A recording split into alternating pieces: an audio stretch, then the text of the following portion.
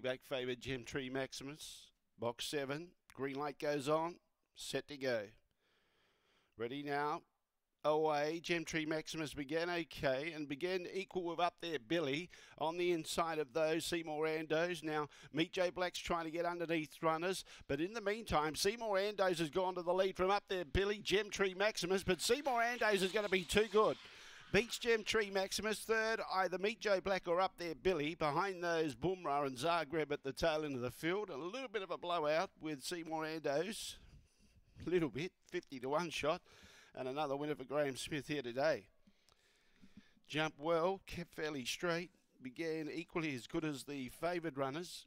And has maintained a, a fairly straight line to work to the a little bit to the middle but set up a lead and uh, was too quick for the others. So Graham Smith having a good day in the office today. Bit of a drifter this one. Uh, opened up at $14, got out to 61 back into $51, but it was too good for the favourites. Uh, Meet Joe Black couldn't get into the race early. Was behind runners, had to dodge a little bit of traffic and then hit the line strong late, but never looked a winning chart. Standing by for the official numbers, but number two, Seymour Ando, should be taking first prize. 2781, the judges' numbers. 1665.